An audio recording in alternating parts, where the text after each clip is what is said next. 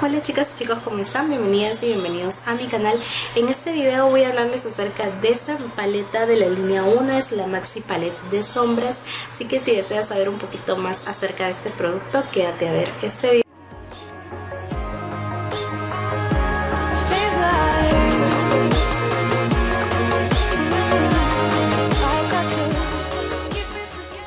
Bueno chicas, vamos a comenzar en primer lugar hablándoles acerca del packaging.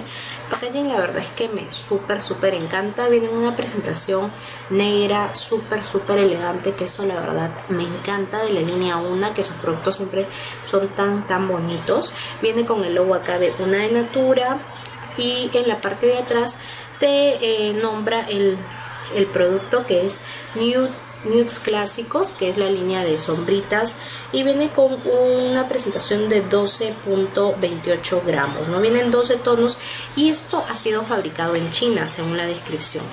Viene con un protector de plástico y viene con el espejo y los colores. Los colores la verdad es que a mí me súper súper encantan, están muy bonitos. De hecho yo me he hecho este look con esta, con esta paletita. Se los dejo linkeado en la cajita de descripción para que vean cómo, cómo es que se trabajó. Y a continuación voy a dejarles con los swatches para que puedan ver cómo es que pigmenta cada uno de los colores.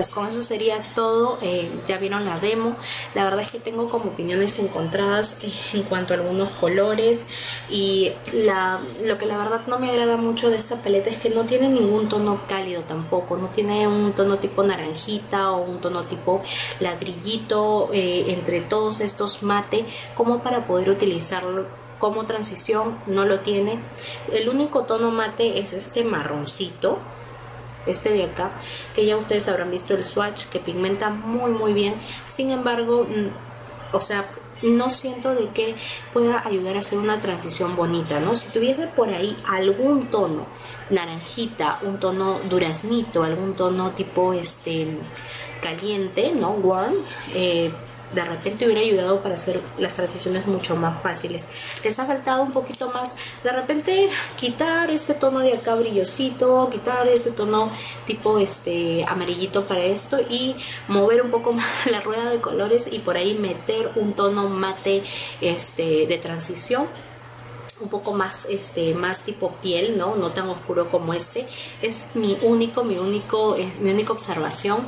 Eh, algunas sombras son tizosas eso tampoco no me agrada mucho pero eh, pigmentan un montón. Eso sí tienen una excelente excelente pigmentación y por ese lado no hay queja.